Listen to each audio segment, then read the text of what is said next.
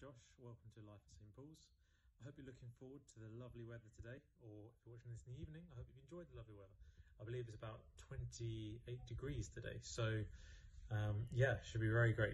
And I want to just start this video, we're going to be talking about everyday life.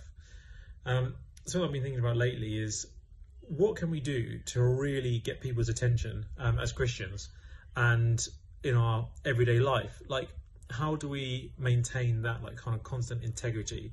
Because I, I was reading this um, podcast actually about how like kids uh, and like youth work with their like leaders, and I think it was saying that the lead the youth are constantly trying to work out what's different between the youth leaders at church and the people that they see every day. Like, where can that difference be? And a lot of that they say is just in generally in their integrity about you know what you know like start to finish of like your day how hard do you work how much are you going the extra mile to really listen to people and show that selfless love of jesus throughout your day. And that was really bothering me and i was like how on earth can i do this even better and be more like jesus and really get to people? Because rather than just going straight up to them and being like yo have you heard about jesus? Which obviously is a great thing to do.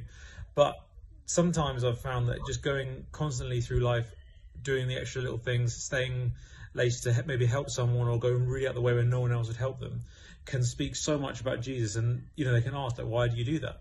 And that gives us such a great opportunity to send all that praise back to God. And that's something that I've been really um, encouraged with, like, over the last few years. And it's been something that I've been thinking about quite a lot today, actually uh, about how can we keep turning this praise to God and just keep showing people little things um, throughout our, our lives and show them a little bit of Jesus all the time um, in just the day-to-day tasks. So I just wanted to encourage you guys to try and think of the little things, whether it's just taking the bins out, maybe that's not really a very uh, exciting job in your office, or if it's a bit more complicated, um, about maybe going a long way and helping someone with, some, with something. I really encourage you to do that and ask God for more opportunities to do that and show His love to those who have yet to hear about Him. Hope you have a good rest of the day. Take care. Bye.